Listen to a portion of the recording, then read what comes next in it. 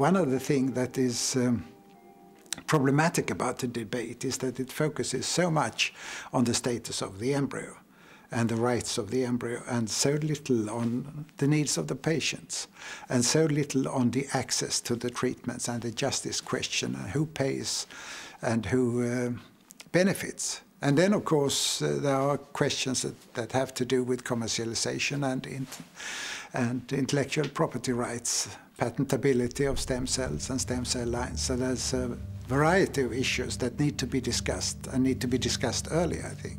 When I look at the legislation, in Europe, for example, there are some countries which forbid embryonic stem cell research, but um, they allow abortion and they allow contraceptive pills, for example.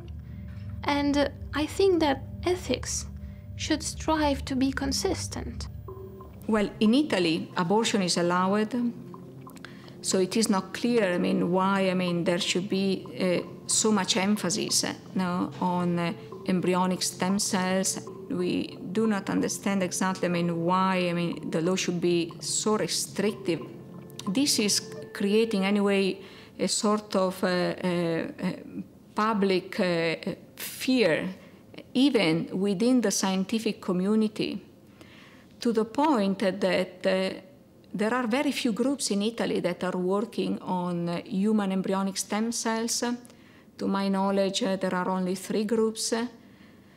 Although there are groups that I know are working, let's say, in, on, on embryonic stem cells, but in a more hidden way. They don't want to say that openly and publicly.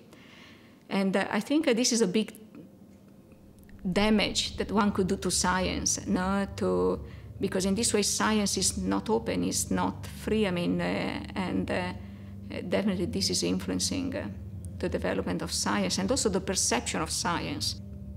The countries which have a restrictive point of view towards embryonic stem cell research, how will they react if and when the countries which have a permissive uh, legislation will finally uh, find the possible treatments for the patients?